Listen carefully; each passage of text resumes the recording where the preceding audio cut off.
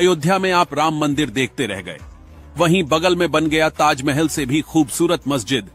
जी हाँ दोस्तों, अयोध्या में एक तरफ़ जहाँ राम मंदिर बन रहा है, वहीं दूसरी तरफ़ राम मंदिर से ही 25 किलोमीटर दूर एक बेहद खूबसूरत मस्जिद बन रहा है।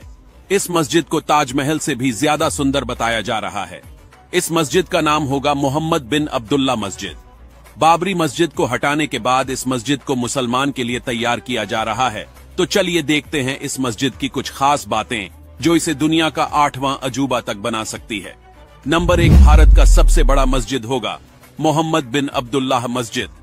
दोस्तों, मस्जिद के बनने से पहले ही यह खबर आ चुकी है कि यह भारत का सबसे बड़ा मस्जिद होगा।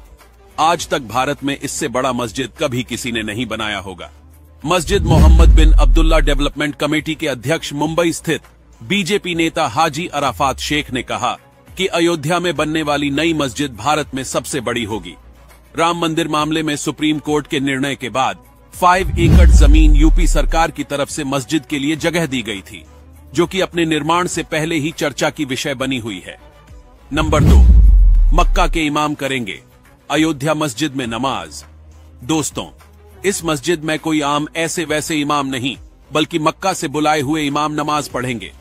पहली इबादत मक्का के इमाम या इमाम हरम अब्दुल रहमान अल सुदैस की तरफ़ से की जाएगी। मक्का के इमाम के साथ साथ अरब देशों के बड़े नामी मुस्लिम हस्तियों को भी न्योता दिया जाएगा।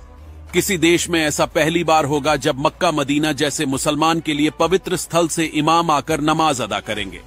नंबर तीन, ताजमहल से भी ज़्यादा खूबसूरत होगा यह मस्जिद।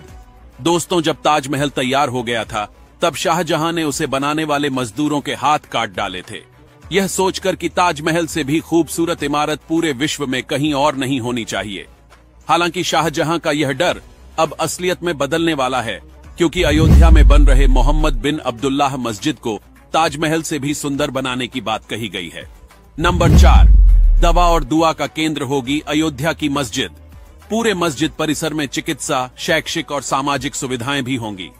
इस मस्जिद के अलावा परिसर में एक 500 बेड वाला कैंसर अस्पताल, स्कूल और लॉ कॉलेज, एक संग्रहालय और एक पुस्तकालय और एक पूरी तरह से शाकाहारी रसोई घर भी होगा, जहाँ लोगों को मुफ़्त भोजन दिया जाएगा।